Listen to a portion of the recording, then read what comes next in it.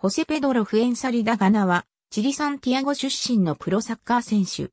チリ代表。ウニベルシダ・カトリカ所属。ポジションはディフェンダー。ウニベルシダ・カトリカのユースチームで育成され、2004年に19歳でトップチームに昇格。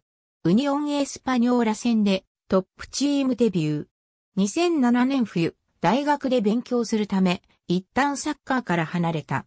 半年後に復帰し、CSD コロコロと4年契約を結んだ。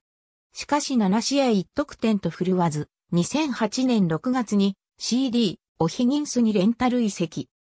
2014年7月、ボカジュニアーズと1年半契約を結んだ。2016年、フルス、カトリカにフリーで加入。U2 例代からチリ代表に選出されており、2005、FIFA ワールドユース選手権やトゥーロン国際大会2008などに参加した。